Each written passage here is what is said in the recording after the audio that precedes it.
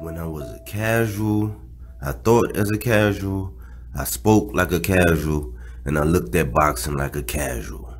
But when I became a hardcore, I put away all those casual things.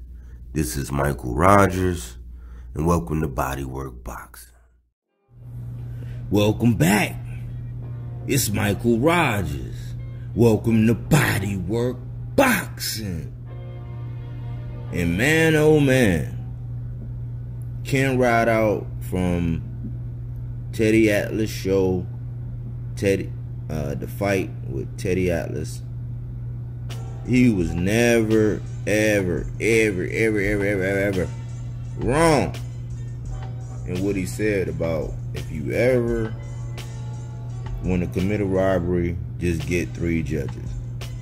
Because Josh Chandler just clearly got outclassed, outboxed, and outmaneuvered by one Jack Catterall. I scored the fight. Going into the fight, Josh Taylor was a minus 1300. Catterall was a plus 800. So if you put down $100, you would get $800 plus your $100 back if you put it down on Jack Catterall. And everybody who placed their bets on Jack Catterall got robbed. That's what makes this such a grave injustice. From the first round, I had Jack Catterall winning. The second round, I had Josh Taylor winning. The third round, you can kind of say it was a swing round. The fourth round, I gave it to Jack Catterall. Josh Taylor was giving up his length. Catterall was hitting him two and three times. He had uh, Josh Taylor had already had a, um, a mouse up under his eye in the fifth round. In the same fifth round, Jack Catterall hit him with a three piece. I noticed that Josh Taylor wasn't using his height. He wasn't using his length.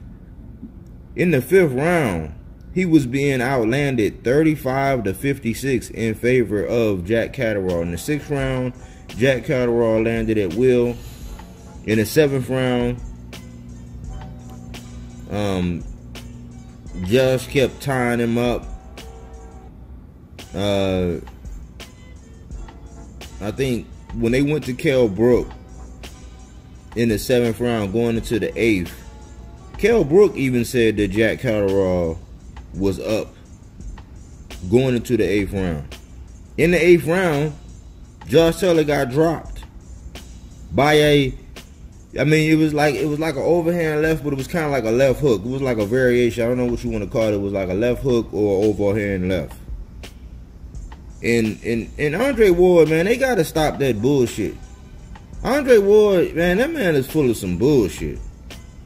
This man kept talking about body language, and then Tim and then Tim Bradley with his dumb ass kept saying, oh man, like the more aggressive fighter is Josh Taylor. You can be aggressive all you want, but if you're being aggressive but you're getting outlanded, that means it's not effective aggression. Eureka! Which is part of the scoring. It's, it's defense, effective aggression, ring generalship, and I think punches landed.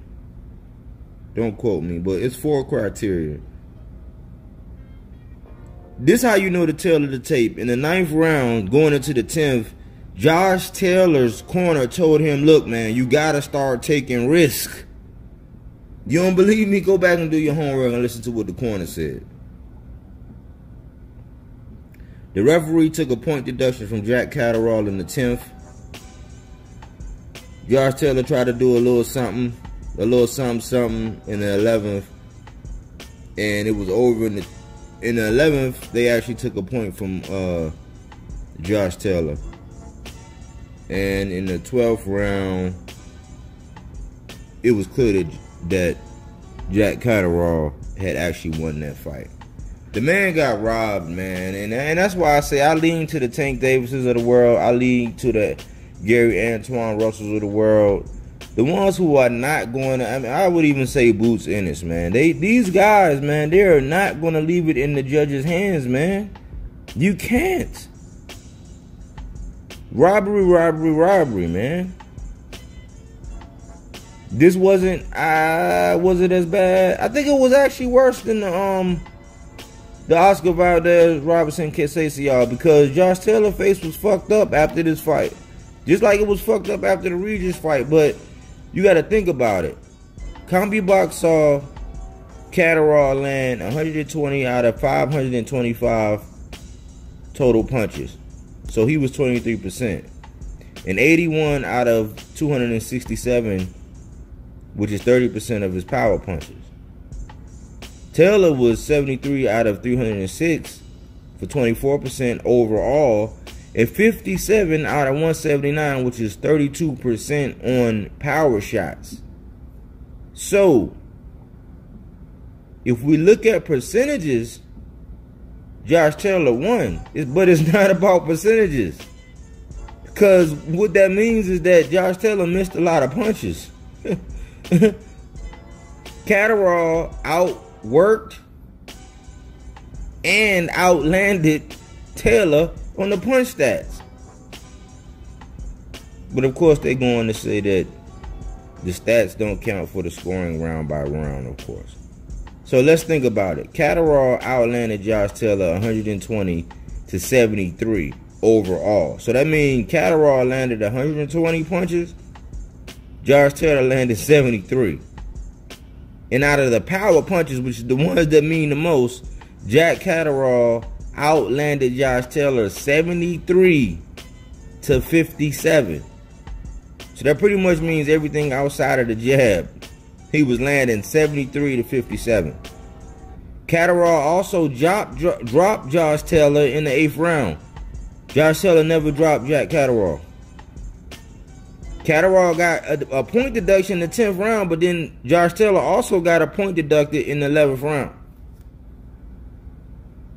I ain't no genius. But you got to tell me how in the hell Josh Taylor. How in the hell did Josh Taylor win that fight?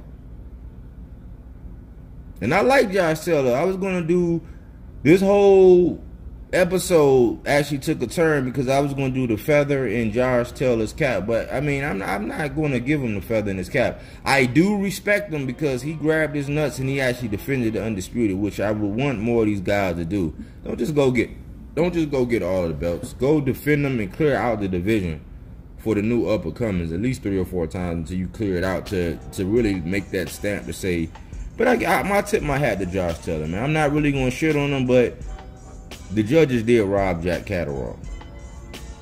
You know, I mean, it would. I mean, it would be crazy for Jack Catterall to come around after Josh Taylor did all that heavy lifting and just lift up all them straps. But hey, he was the better man, man. You got to look at his face. Look at the numbers. How can you score that fight for Josh Taylor based on what I just said? Then you got to look at the fact, look at the picture on my thumbnail where Josh Taylor skull was, you could actually see the indentation on his skull from when he was weight drained. And everybody was talking about that. He wasn't his full self. He didn't fight to his full potential.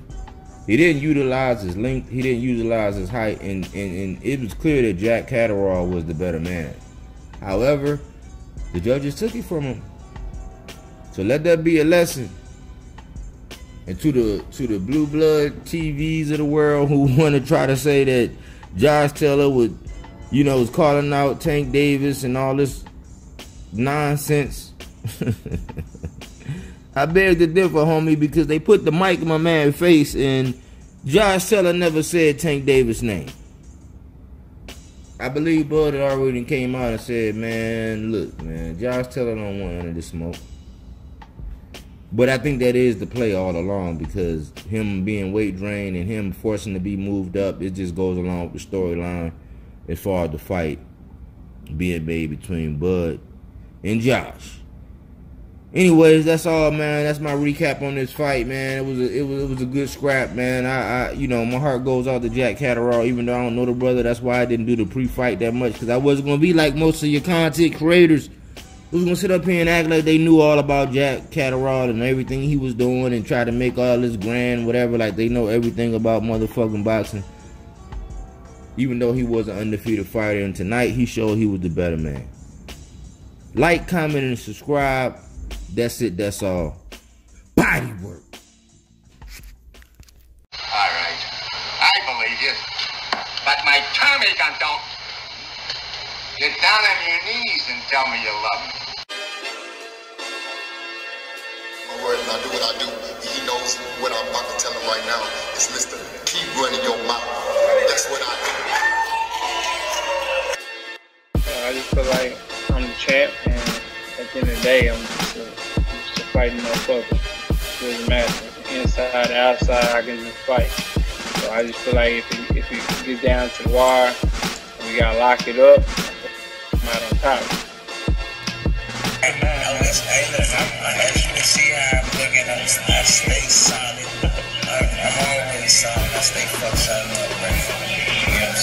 Saying? To the fans and all do that. that job outside the ring in